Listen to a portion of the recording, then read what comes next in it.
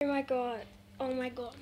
Guys, I just, I had, I'm sorry, I, um, I didn't have anything interesting for today's video, but now I do. Look at this morph.